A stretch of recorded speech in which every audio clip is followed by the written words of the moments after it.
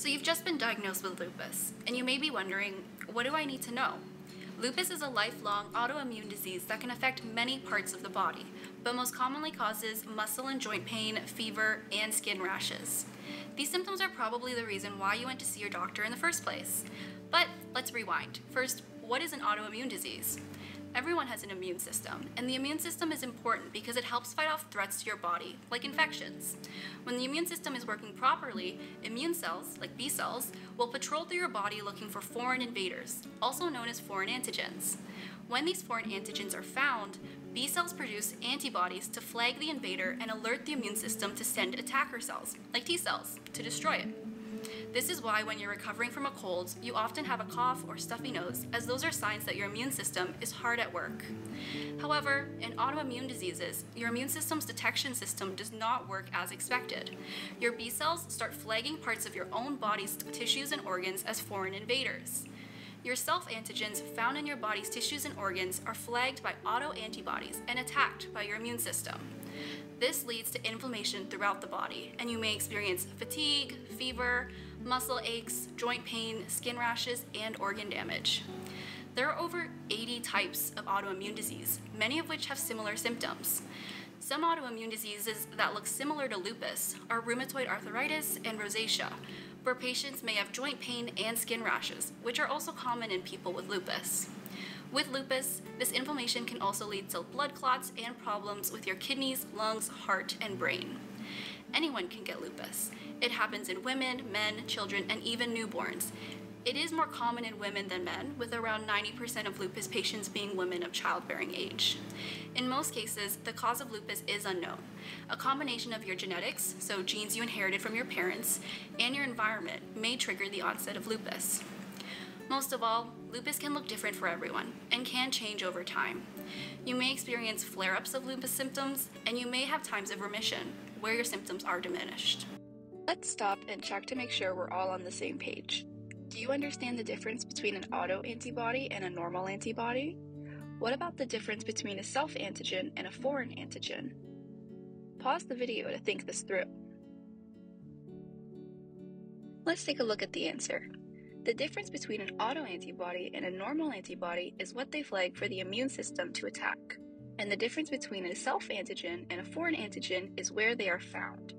So, autoantibodies will flag your self antigens found on your own body's tissues and organs, and normal antibodies will flag the foreign antigens found on foreign invaders like viruses for your immune system to attack. There is no definitive cure for lupus, but there are many different types of medications that can help reduce your lupus symptoms. Your doctor may recommend any combination of medications to manage your symptoms and offset potential side effects. We're going to take a closer look at five of them.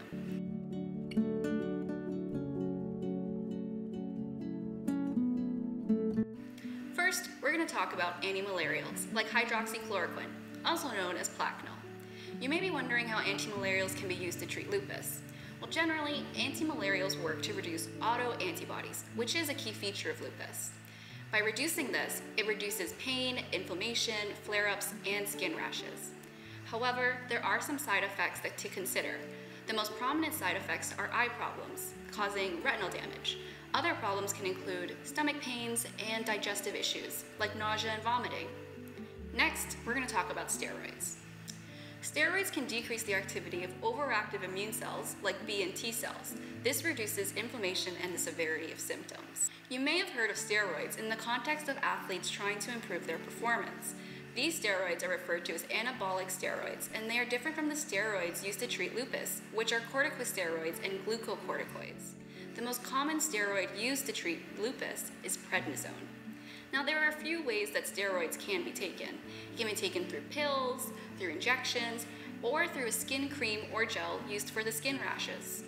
Unfortunately, steroids come with a variety of different side effects, which include swelling, weight gain, and sleeping problems. Long term use of steroids can also lead to an increased risk of more severe health problems like infections, osteoporosis, meaning weak or brittle bones, and diabetes. Next on the list are NSAIDs, otherwise known as nonsteroidal anti-inflammatories.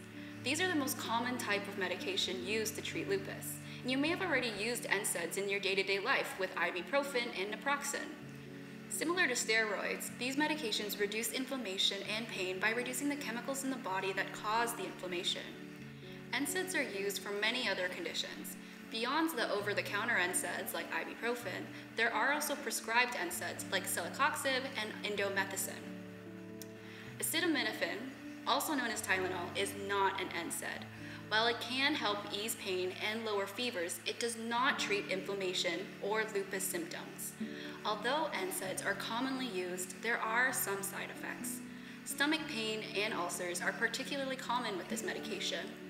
To avoid or mediate these side effects, there are some steps that you can take. First, you can take NSAIDs with food to help prevent stomach pains. Second, you can take the medication prescribed by your doctor to help with digestion issues like proton pump inhibitors and over the counter antacids like Tums, which will help with the protection against ulcers. Next, we're going to talk about immunosuppressants. As their name suggests, these medications work as suppressors of the immune system, and each immunosuppressant works slightly differently and treats different lupus symptoms. One common example is methotrexate, but there are others. The downside of these types of medications is that they can make it harder for your body to fight off infections. Steps should be taken to protect yourself from infections if you are taking an immunosuppressant. Things like washing your hands often, or cleaning and protecting your wounds and cuts, staying up to date with your vaccines, and avoiding people who might be ill or have a cold or transmissible virus. In addition, there are some side effects for each individual drug that could occur with their use. For example, they could potentially damage some of your organs, like your liver, or they could raise your risk of cancer. Finally, we're moving on to monoclonal antibodies, otherwise known as MABs. This is one of the newer therapeutic approaches for treating lupus and falls under the category of biologics. Biologics include any medication that comes from a biological source. In the case of MABs, they are made in and collected from living cells and then processed into medication. But really, how do these MABs work? MABs are designed to target the specific parts of your immune system that are overactive and lead to the inflammation associated with lupus. So, they reduce your lupus symptoms by reducing this inflammation. There are two types of MABs that have been approved for lupus treatment. One of them is called belimumab, also known as Benlysta, and another is called anifrolumab, also known as Saphnelo. These two MABs can be administered using either an infusion or an injection. However, these medications do come with their own side effects. This can include nausea and diarrhea, fever, trouble sleeping, arm and leg pain, migraine, headaches, and increased risk of infections, including shingles. All in all, there are a lot of medications that can be used to help treat the symptoms of lupus. You and your doctor can work together to determine the best therapeutic approach for you. Let's stop and check to make sure we're all on the same page. Do you remember how all of these medications generally work to treat lupus? What do they have in common with each other? Pause the video to think this through. Let's take a look at the answer. The medications work by treating your lupus symptoms. The majority of these medications decrease overall inflammation. Now we're going to talk about an exciting new research study that was completed in 2022 that is looking to cure lupus rather than treating just its symptoms. Unlike the medications we just discussed, this study uses CAR T cell therapy to reboot the immune system. Researchers from a German university have successfully driven five seriously ill lupus patients into remission using this approach. CAR T cell therapy is highly customizable and uses patient T cells that have been engineered to target and destroy a specific group of cells. The goal behind this therapy is to reboot the patient's faulty immune system and replace it with one that doesn't produce the harmful autoantibodies. To do this, the researchers engineered CAR T cell therapies that were specific to a protein present on the rogue B cells in lupus. Interestingly, this exact approach has been used successfully and has been approved to treat some types of leukemia.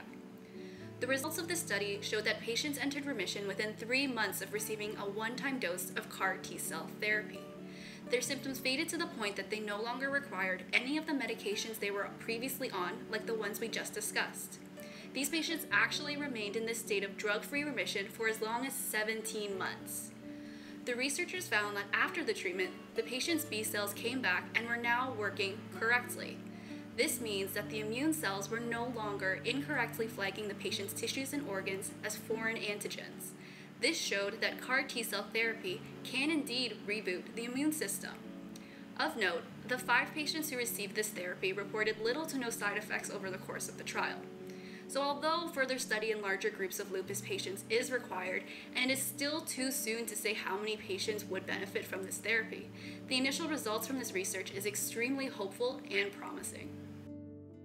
I know that seemed like a lot, but let's recap what we covered today. You should now have a better understanding about what lupus is, what medications are currently available to you, and what might become available to you in the future. If you are interested in more information, please check out some of these resources.